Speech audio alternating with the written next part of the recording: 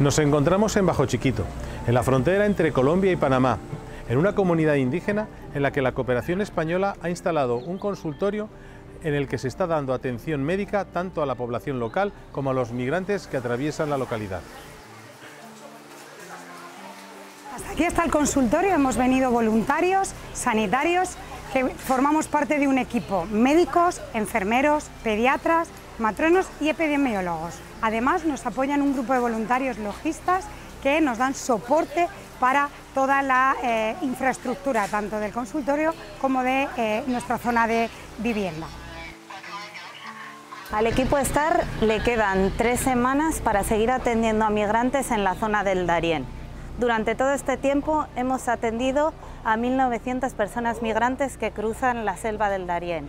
Esto supone un 8% del total de las personas que atraviesan la selva.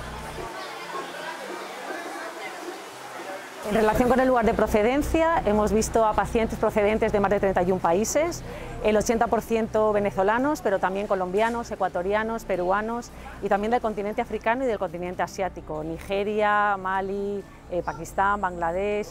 Eh, por las mañanas atendemos a la población local de la comunidad de Bajo Chiquito, así como también de comunidades colindantes que, sabiendo que el consultorio está abierto, vienen a que les podamos hacer algún seguimiento.